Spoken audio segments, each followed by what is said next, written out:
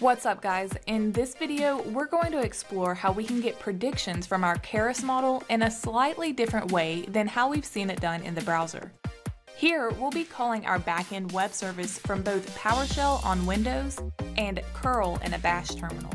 So let's get to it.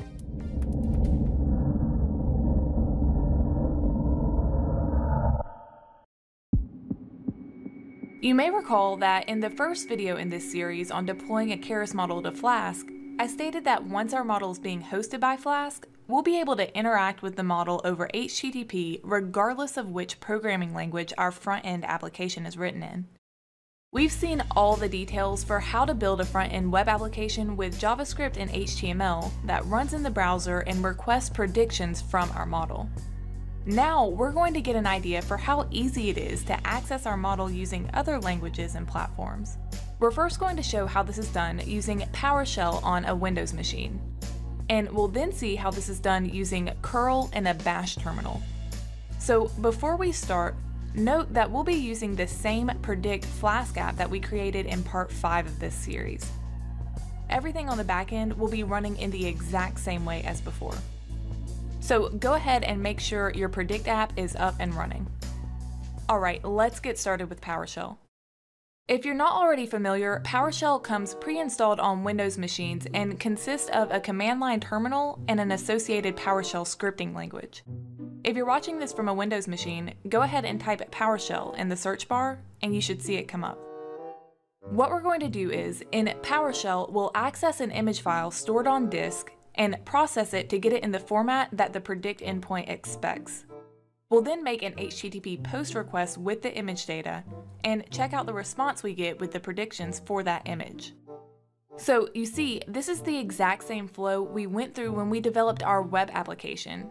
We're doing the same thing now, but rather than using JavaScript and HTML and interacting with the browser, we're now using PowerShell, the scripting language, and interacting with the PowerShell console. Alright, this is the image we'll be working with. Now, in PowerShell, we first create a variable called filename, and we set that equal to the full path to the image. Next, we create this variable called bytes, which is assigned the bytes from the image file. We then convert the bytes into base64 and store the base64 encoded image as this base64 image variable. We then create a PowerShell object called message whose key is image and value is the base64 encoded image. Since the predict endpoint expects the request to be in JSON, we convert the message to JSON and store it in this JSONified variable. We then make the HTTP request using this invoke REST method command. We supply the type of request, post, and provide the URL to the predict endpoint along with the JSONified message and we store the response for this request in this response variable.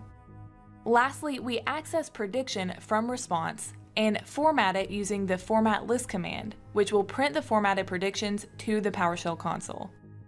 And there it is, we now have the predictions from our model for this particular image. Alright, next we're going to do this exact same thing but in a bash terminal. So again, the first thing we do is specify which file we're working with and store it in this file name variable.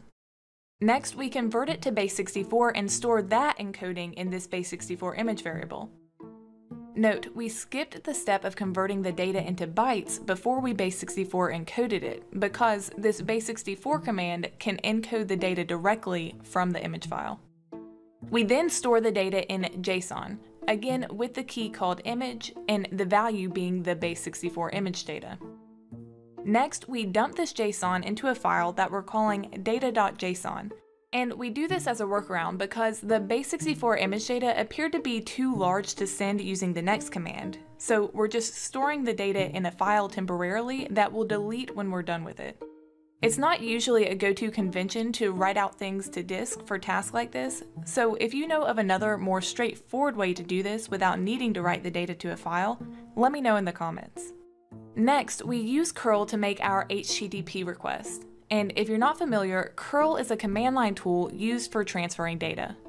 So we run the curl command specifying the type of request, again post, the data to send, which is the JSON data in the data.json file, and the URL to our predict endpoint. And we get the response printed to the console as we'd expect. We can then run rm-data.json to delete the file we created earlier. So, these examples hopefully allow you to see how relatively simple it is to make HTTP requests across languages and platforms. Just with a few lines of code, we were able to send image data and receive predictions back with both PowerShell and the Bash terminal. And there was no need to change our backend. We could access the same single endpoint with no changes across whatever language we want. If you're going to be calling your endpoint in a language we haven't yet discussed, I'd love to hear about it in the comments. There's still more to come, so stay tuned and I'll see you in the next video.